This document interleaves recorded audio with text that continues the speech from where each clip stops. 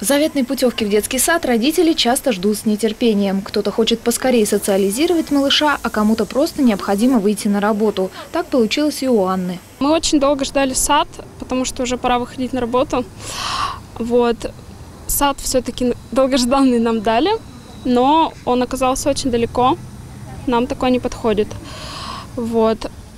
Написала заявление в садике на обмен, а, но пока ответа нам не дали. Также написала еще на обмен в социальных сетях. Ждем ответ.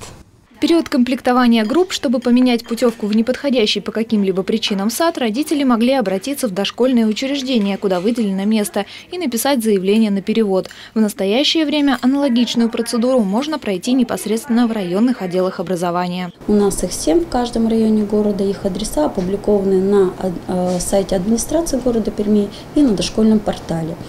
Э, подойти, написать заявление на перевод, которое будет рассматриваться по дате рождения. Большинство заявлений будет рассматриваться только в следующий период комплектования на следующий учебный год. В течение учебного года возможно единичное появление места после, э, после восстановления либо открытия новых групп или если дети откажутся. До конца года места могут также появиться в связи с открытием нового детского сада в районе улицы Грибоедова, а также дополнительных групп в Дзержинском районе. Еще есть какой вариант перевода, когда родители самостоятельно находят переводы. Здесь важно подчеркнуть, чтобы год рождения ребенка был одинаковый.